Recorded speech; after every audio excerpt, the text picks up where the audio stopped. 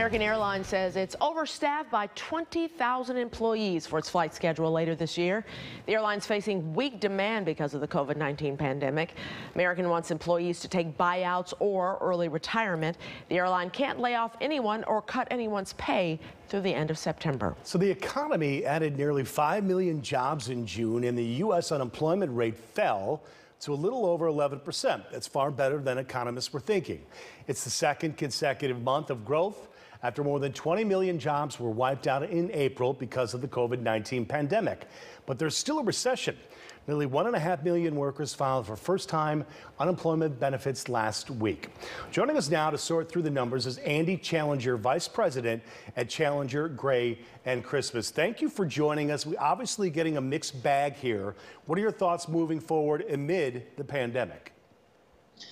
Yeah, look, 4.8 million jobs in a single month is a triumph, and it's why we spent trillions of dollars in PPP loans and CARES Act funds to help get us to the other side of the pandemic. And when uh, businesses reopened, people would still have jobs.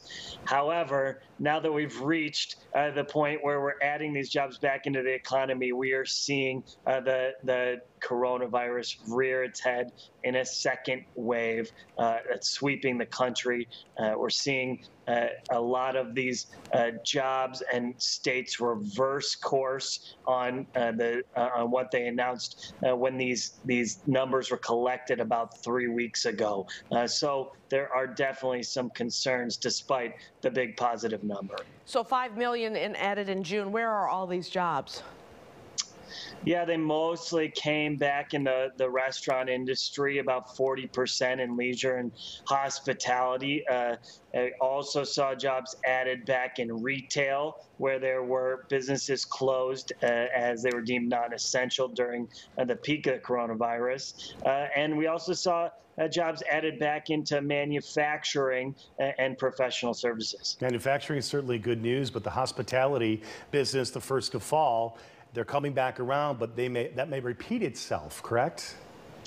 Yeah, that's the real worry is is this a little bit of false hope that these jobs have come back uh, for only a temporary period of time. Uh, I know I mean here in the, the West Loop of Chicago saw uh, quite a few uh, restaurants that opened a couple weeks ago shutter their doors permanently over the course of the last week. So we're certainly not through this crisis yet. So Andy, what does that mean for the economy then? It's kind of like an up and down kind of thing. And, and you say we are in a recession.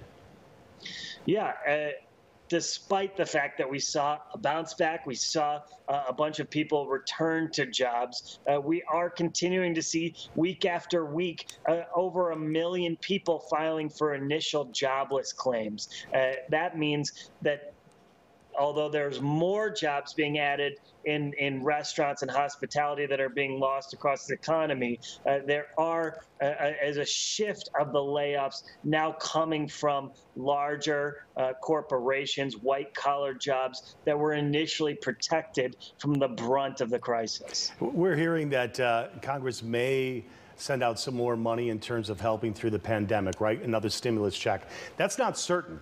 So, what are your thoughts on that moving forward?